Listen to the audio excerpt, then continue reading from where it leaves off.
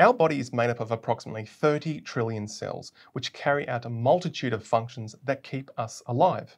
There are about 200 different types of cells in the body, all with different shapes, sizes, and functions. Now, a lot of this difference is determined by the things that are inside the cell, which we term cell organelles. Now, in this video, I'm going to discuss briefly the main functions of seven cell organelles, starting with number one, the plasma membrane located on the outside of the cell. The plasma membrane is a phospholipid bilayer which makes it semi-permeable. It functions as a barrier to separate the inside to the outside. It controls the flow of what can go in and out of the cell, but it also helps to identify the cell to our immune system. Number two, the mitochondria. This is the powerhouse of the cell. It's here where the energy for the cell is made in the form of ATP. Number three, the nucleus. This is the library. So this, is, this houses our DNA. Our DNA in each cell could be stretched out to be two meters in length. So it needs to be compacted really well in the nucleus in the form of chromosomes.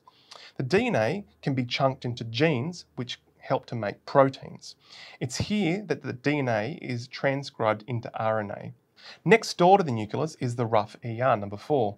The rough endoplasmic reticulum is the protein factory. It grabs the RNA that's made from the nucleus and turns it into the proteins. But what makes the proteins? Well, it's number five, the ribosomes, which you can see them studded here on the rough ER. This is actually what makes it look rough. So the ribosomes grab amino acids, stack them together, and this is what makes the proteins. The ribosomes are actually made in a special part of the nucleus called the nucleolus. Once the proteins are made, they are sent to the Golgi, number six. So immature proteins are packaged up by the Golgi apparatus, which is like a packaging center, slaps on a stamp and sends it out to the, outside the cell to somewhere else in the body. And number seven, we're left with a smooth ER. It's called smooth because it doesn't have any ribosomes. The smooth ER helps to synthesize fats and helps to detoxify the cell.